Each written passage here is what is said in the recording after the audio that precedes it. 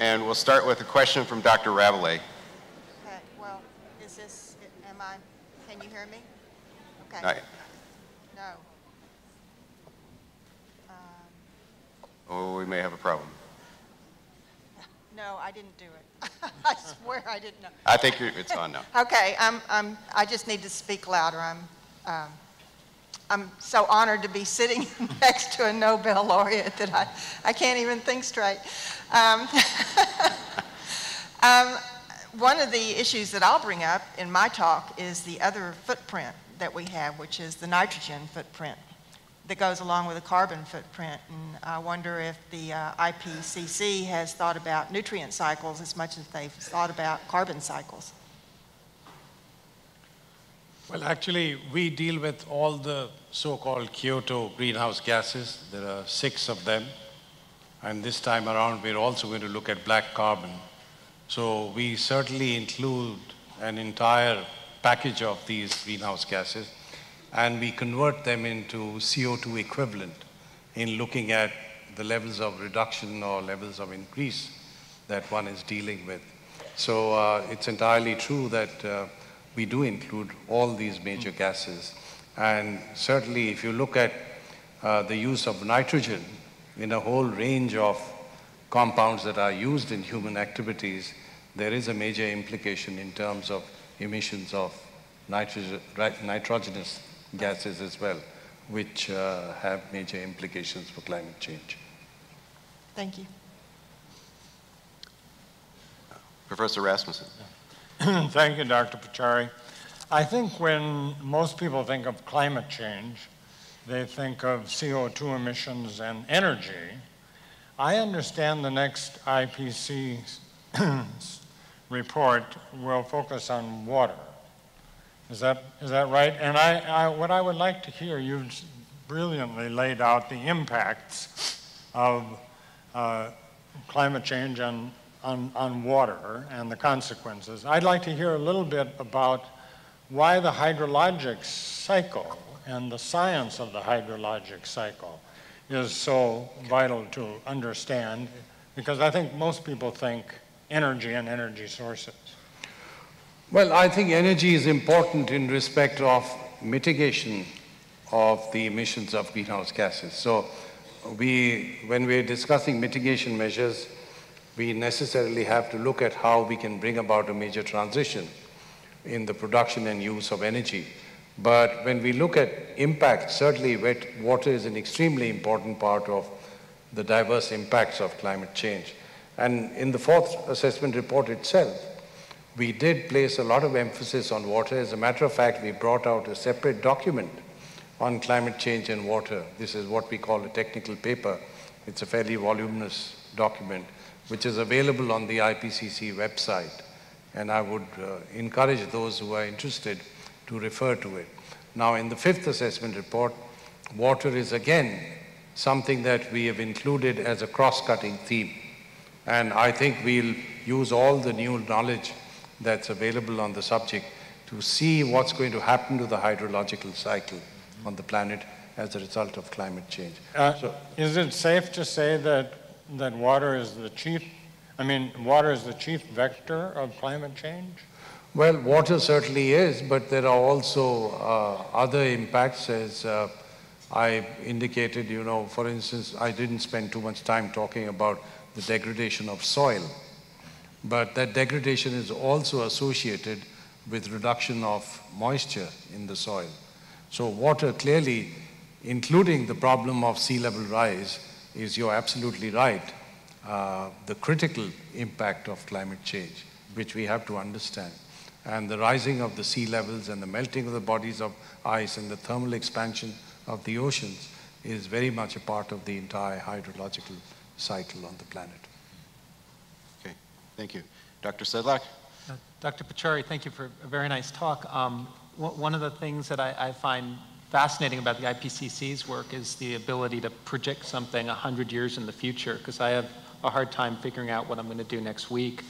Um, and, and one of the things that I, I, I imagine about the predictions that you're making is that there's a feedback between climate change and the rate of migration to cities and also GDP. So could you tell us something about the feedbacks that are implicit in some of those assumptions or how much climate change is likely to uh, speed the rate of migration to the cities and also decrease the GDP of the people who live there or the quality of life? Yeah, firstly, on the comment that you made about projecting uh, uh, 100 years into the future, uh, Tom Friedman, uh, the journalist who's a good friend, and you know, recently we were, we were together at two uh, events, and he also highlighted this problem. You know, typically uh, people have this reaction that, you know, I'm not going to be able to help climate change. Uh, there's nothing that I can do, and in any case, if it's going to happen 100 years from now, let's just go out and party right now. Okay. Now, um, that, that's one way of looking at it.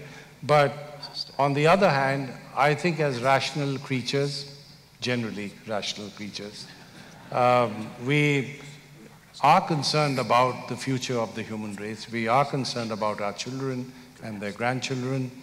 And therefore, I would say today, even among the leadership of the most important countries in the world, there is a realization that we've got to bring about uh, major changes. And that's precisely why the G8 has set a, set a target of reduction of greenhouse gases by 80% up to 2050. Of course, none of the leaders who've expressed that desire will probably be around in 2050, but at least they're giving society a direction, which is a good thing. Um, and therefore, I would say that um, uh, we, we have to look at the future. We have to look at the cumulative impacts of, of climate change and how these will affect the very stability of everything on the planet. Um, on the issue of um, what one can do about it, I think um, we, we have to make sure that we adapt to the impacts of climate change. Because even if we bring about a reduction of emissions to zero levels today, the inertia in the system will continue with climate change for several decades. And therefore, we'll have uh, no choice but to ensure that we adapt to that level of climate change. The second question that you asked about migration levels, this again will vary from place to place. Uh, if you look at uh, the problem in North Africa, for instance, they're going to suffer from major reductions in availability of water, so also the Mediterranean region. And it's no coincidence that you have so many people trying to go across the Mediterranean into Europe illegally um, because they would look for areas where they can get at least uh, means by which they can keep body and soul together. So uh, I think there would be enormous variation across the globe in terms of the threat of migration. What is particularly worrisome is the fact that if we were to get sea level rise of even a meter or more, and it could be very much more if the Greenland and West Antarctic ice sheets were to collapse, then we would have possibly hundreds of millions of uh, climate refugees. And they would go all over because, you know, uh, they may not be able to uh, find accommodation in their neighborhood. So I think uh, this is an issue which needs a great deal of research, some of it perhaps speculative research, but we've got to develop scenarios of the future by which people can understand the seriousness of the problem and what we might have to confront. Thank you. Uh, Dr. Graff. Yes, I think that what you see here uh, in front of the audience is a group of scientists by and large.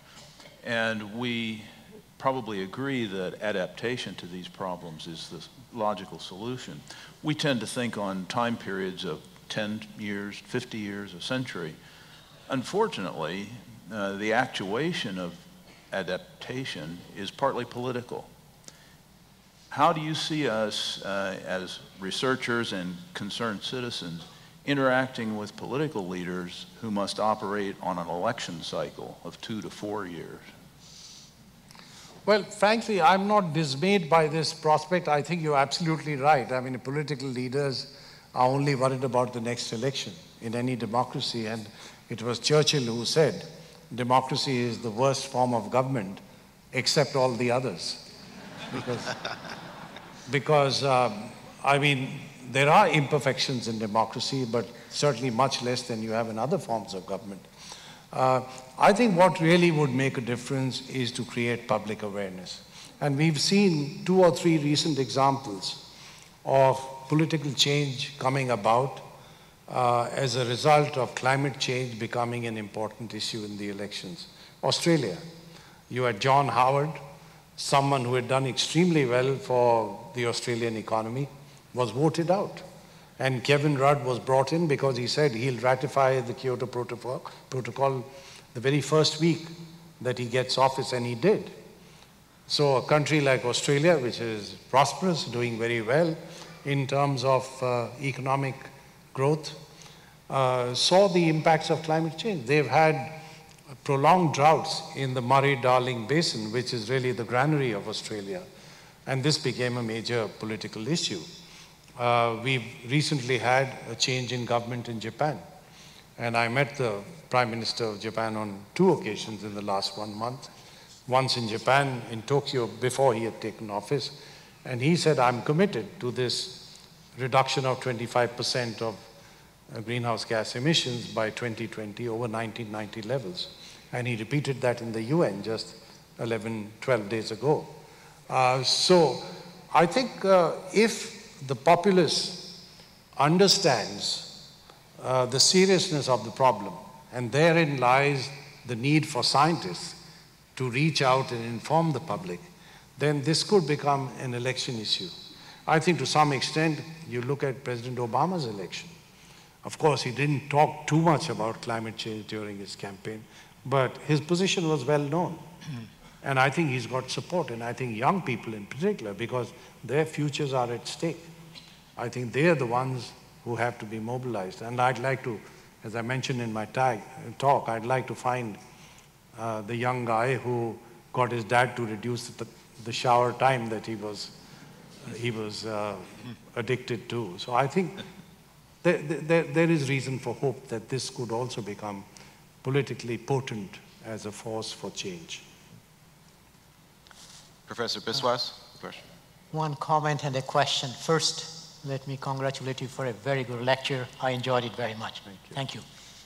The comment is, in the West, generally it is assumed that the migration is from the developing countries to the Western countries. But in reality, it's much more of a global problem. We now see, for example, in US, people might be concerned illegal immigration from Mexico to US but Mexico has a major problem, illegal immigration from Central America to Mexico. In India, we have major problem in terms of immigration from Bangladesh, illegal immigration from Bangladesh, Nepal, etc. In South Africa, the same. Brazil, the same. So I just wanted to clarify that it is a global problem and uh, people are moving from one part to another and not only from only developed, developing country to developed country, developing countries themselves also have this problem. So that's just a comment. The question I would like to ask is, with your extensive knowledge of science, technology, and background with the political leaders, if you look forward not 100 years from now, 20 years from now, what would be your realistic estimate what type of situation you will see in terms of climate change mitigations in the next, in, let's say in 2030. So what will be your personal opinion? I'm not asking you as an IPCC chairman, but your personal opinion, the realistic, what we might be able to see. Not an optimistic one, not a pessimistic one, but a realistic one. Well, to be quite honest, I'm deeply worried mm -hmm. because uh, the extent and the seriousness, seriousness of extreme events is going to grow to a level where you would probably see disasters in several parts of the world. And it's difficult to define uh, the word uh, disaster, but certainly there would be enormous human suffering, enormous loss of property, and therefore a direct impact on the stability of society in several parts of the world. And my hope is that this realization will get the world to act rather quickly and start reducing emissions of greenhouse gases with a sense of urgency. And if we were to do that, then certainly over the next 20 or 30 years there will be climate change, but it hopefully will not reach levels that are going to be totally disruptive of several societies across the globe. So I've said this before, the next two or three years are going to be crucial to what's going to define the future. And if we miss action in the next two or three years, or a clear plan for taking action, then my fear is that we are in trouble. And I think this is something that the world has to understand. One doesn't want to be a scaremonger, but at the same time, you've got to be a realist. The evidence is mounting, the scientific uh, assessment is very clear, and I don't think we can shut our eyes to this reality. Okay, Thank you. A question from the audience. Um, Continued world population growth is the basic problem related to environmental, energy, and water issues. Why, therefore, do we not include population growth issues among strategies for solving these problems? Well, population certainly is a variable, but I always quote the example of uh, an event that we had organized in Washington, D.C. several years ago on population, environment, and development. And Senator Tim Wirth uh, came to speak over there, and he said something which I thought was very interesting and profound. He said, We have a population problem in this country. We are adding about 3 million people to our population each year and each American consumes 40 times what a Bangladeshi consumes. So we're really adding 120 million Bangladeshis to the planet each year, right here in this country. Now, therefore, I think population is a serious problem, but we also have to look at consumption levels. Um, often um, you find that people where populations are growing are living in a state of poverty which also makes it very difficult for them to limit their fertility levels because, you know, traditionally poor people regard children as a resource. They provide labor, they provide inputs for producing goods and services, and the attitudinal and economic shift to having smaller families therefore doesn't come about. And as somebody said, the best contraceptive is really development. And there is no easy path to development. But I think if you look at what happened with the Marshall Plan in Europe, for instance, if we were to have some seriousness by which we treat the developing world, or the poorest regions of the developing world, as a target that needs help, then I think we can bring about a reduction in poverty, and that in itself will lead to a reduction in population growth rates. In the absence of that, I'm afraid populations will continue to grow unless you take draconian steps, like China's been able to do very successfully. Uh, the one-child family norm has worked in China, but will it work everywhere else? I'm not too sure. Okay, another question from the audience. Uh, please comment on irrigation practices and the risks associated with them. I think we need a lot of research on irrigation practices. And essentially, I think every single drop of water has to be utilized effectively.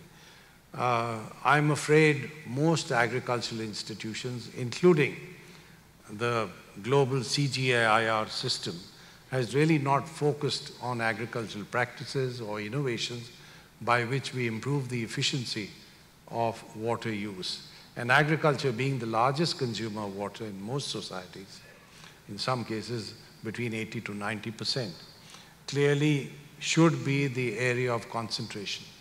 And I would say that this should become the major uh, focus of research in the international agricultural research system.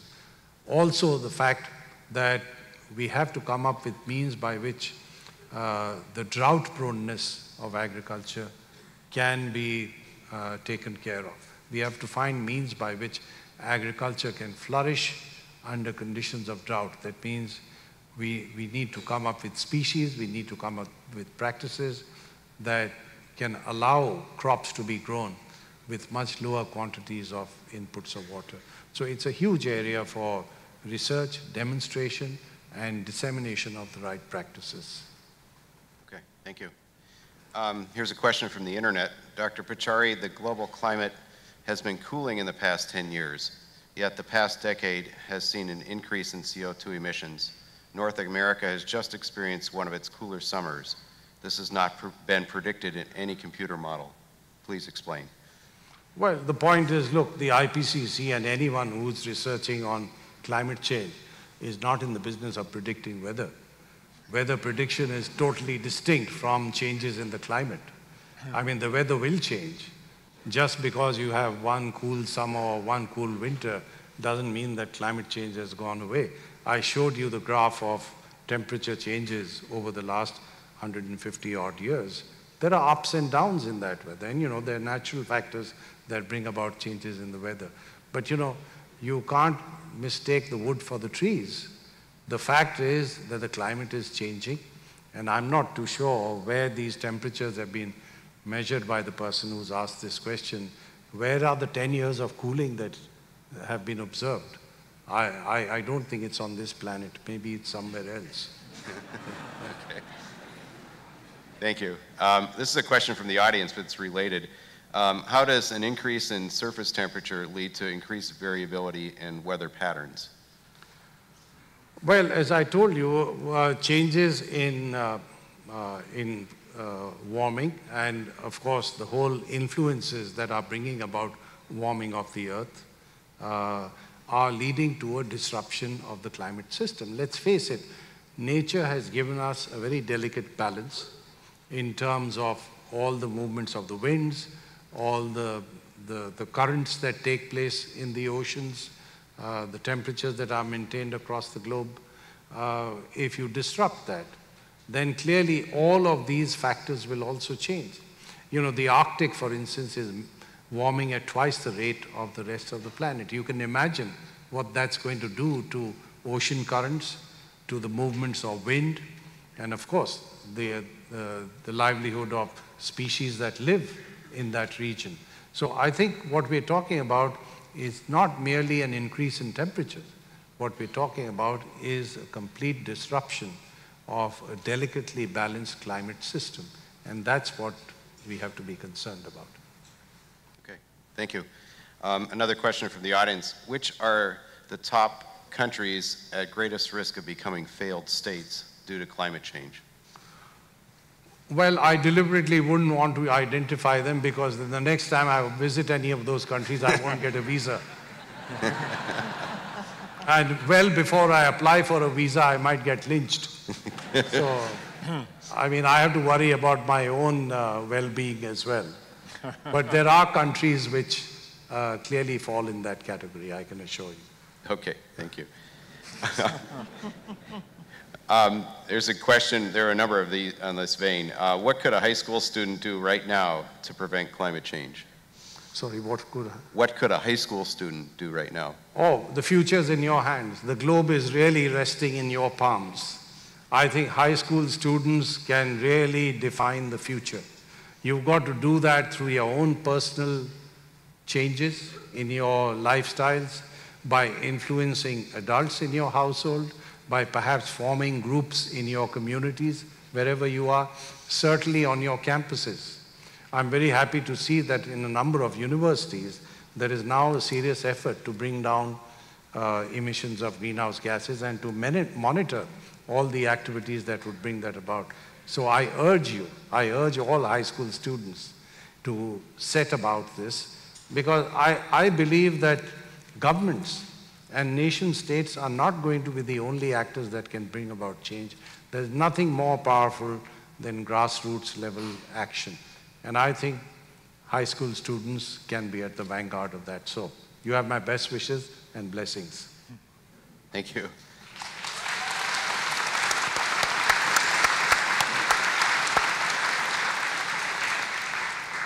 Another question from the audience. What three books would you suggest decision leaders read on this topic of global warming?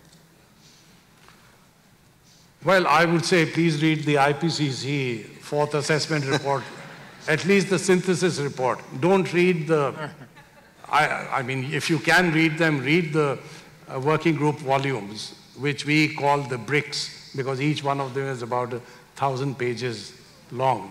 So you might get lost reading those. Read the synthesis report, which is e readable, which is easy. Uh, there are enough diagrams over there. Do read that. I would also strongly recommend, if you're so inclined, my institute has just brought out a book on Gandhi's sayings and his philosophy. He was the ultimate ecologist. He was ahead of his time. We actually published a book on his sayings, and I can rattle off 20 of them right now, but I don't want to use this occasion for that purpose. But we brought out a book in the 80s. Dr. Khushu was the one who wrote it. Uh, and it sold, it sold out, several editions of it.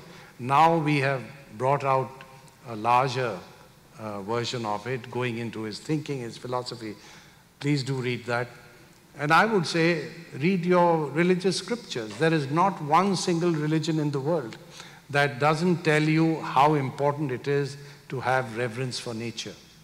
And just try to interpret what the leaders of specific religions have told us, irrespective of what faith you belong to. And you know, that gives you enough reading material, the three that I've just mentioned. Okay, thank you. I have another question from the internet, internet audience. Um, how much water would be saved if people were to cut down on the amount of red meat they eat?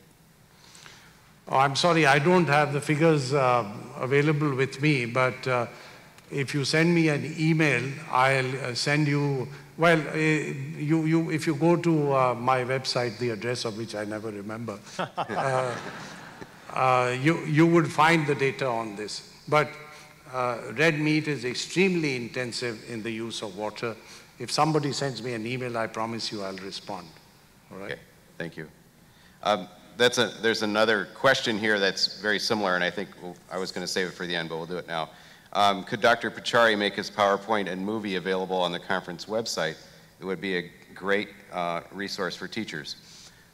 And I, It's available. I mean, I would be happy to, for anyone to uh, refer to it, and it's in the public domain. And uh, I'd request request the college to uh, put it on its website if they want to. okay, thank you. We also, um, as you may know, we have, um, besides web streaming this live, we're also uh, recording this conference, so teachers can make use of that um, as a resource as well.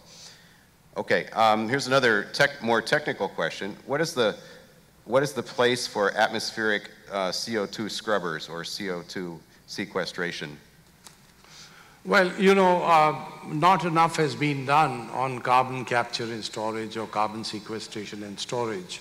Uh, the IPCC brought out a special report on the subject about five years ago. And we clearly brought out the potential and the problems of this technology on which we essentially said that much more work needs to be done. And I've been talking to several companies like Statoil Hydro in Norway, that's been a pioneer in this area, to spend much more time, effort, and resources to develop carbon capture and storage. It's sad that in the last administration, uh, they started a, a project essentially to capture CO2 from coal-based power stations and to store it and sequester it.